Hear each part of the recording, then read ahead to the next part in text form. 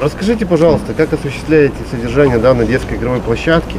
На безопасную и подходящую для детских игр эта площадка на Горького-Шимановского не тянет. Ее обустроили больше 10 лет назад. Состояние качели и песочницы обеспокоили местных. Они пожаловались в прокуратуру. Ведомство назначило рандеву с представителем управляйки. Именно УК должна следить за имуществом дома. Начальник участка рассказала, что поддерживать площадку компания старается. Производим ремонт детских конструкций, где-то необходимо а, закрепить, где-то необходимо поменять какой-то элемент, то есть стараемся поддерживать э, в удовлетворительном состоянии.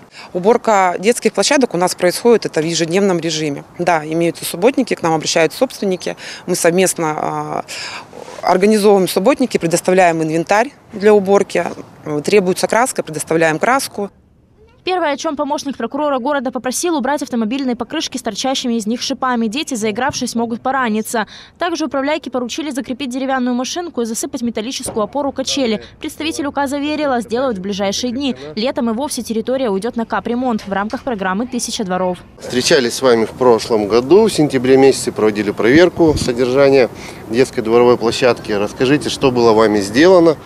На эту площадку в микрорайоне Солнечный тоже пожаловались местные. В прошлом году прокуратура вынесла УК представления. Мера подействовала. Лавочки отремонтировали, качели обновили. Произвели покраску, замену деревянных покрытий, подтянули, смазали движущиеся детали,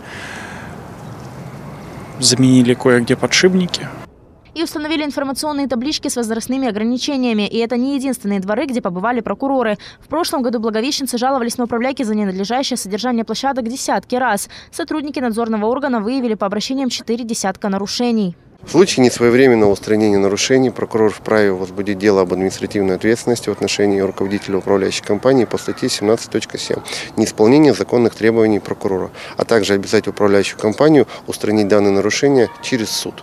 За невнимательность и игнорирование решений прокуратуры УК рискует заплатить до 350 тысяч рублей. Но беспокоить больше должно даже не это, а безопасность малышей. Алена Лепкалова, Дмитрий Тарасов. Программа «Город».